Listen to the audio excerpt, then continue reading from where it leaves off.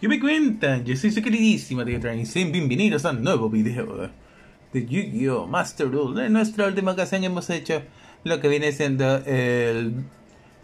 cosa el Duel Trial. Obviamente en esta ocasión obviamente no, tenemos un nuevo evento que se inspiraron un poquito en cosas Mario Kart en Mario Kart Tour y es un evento de temática versus, o sea, luz contra oscuridad. Podemos utilizar de obviamente de una de las dos categorías. Obviamente voy a demostrar cómo funciona porque no he escogido ningún de respectivamente.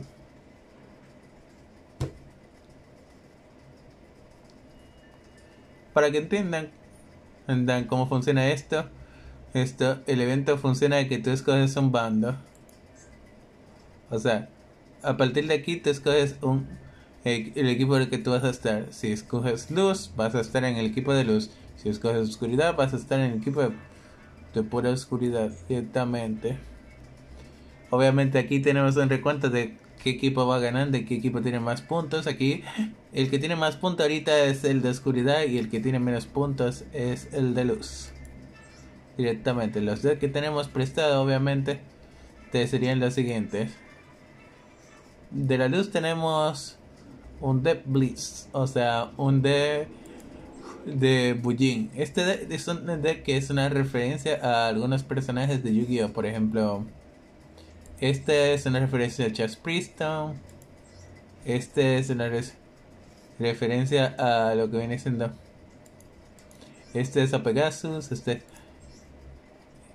Hay una que tiene una referencia a Lexis y hay otra que tiene una referencia a este tipo de personajes.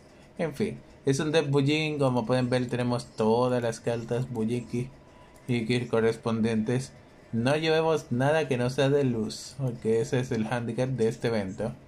Si tú escoges un tipo, solo puedes escoger las cartas de ese tipo. Por ejemplo, esta carta.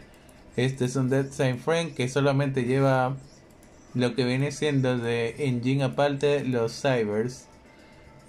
Por eso llevamos cartas solamente enfocadas en un solo tipo.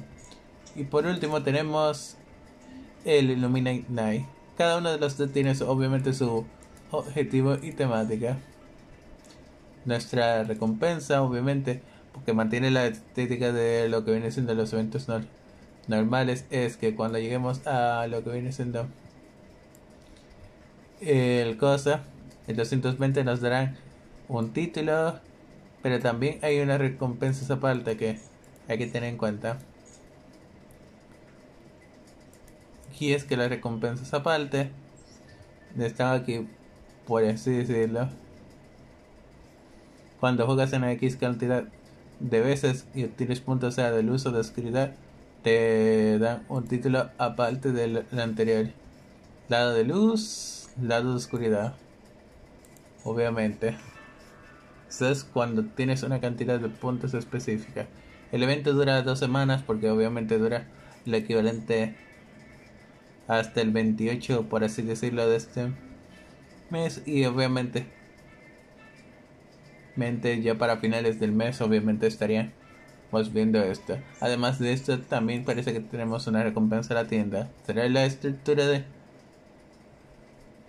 No, es un accesorio simplemente en parte de todo tenemos a los un cosa, el Fully Spurrier y el Grand Store. Esas son las dos recompensas que tenemos. 100 pesos cada digo 100 gemas cada una, obviamente es, esto es por mera colección eh, respectivamente, pero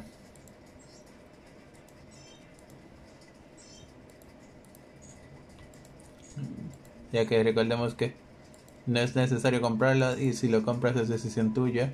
Pero en fin, vamos a ver que, en qué nos vamos a ir. Obviamente, como dije, este esta parte solamente voy a centrarle.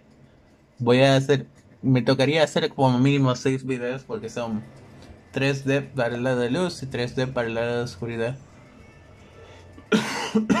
Directamente. En este primer video voy a utilizar el de Bujiki. Hay que ser honesto, he probado este deck en un pasado originalmente porque es un deck de la era de lo que viene siendo siendo XG pero es un deck que es muy centrado en cosas monstruos. De como iba a decir de los el handicap que tiene este deck es que por ejemplo el deck Bujigi aquí es un deck que por ejemplo está bien a nivel ofensivo pero cuando hablamos de alternativas opciones hay que son mejores que el deck Bujigi y en la era en la que estaba en la era SG había ciertos decks que por así decirlo dominaban. Por ejemplo por poner un, ejemplo existían los Heraldi existían las cosas los Opars, existían los Gimme Papetto y existían muchos otros arquetipos G, G que se jugaban muy fuertemente. Así que denme unos minutos y nos volvemos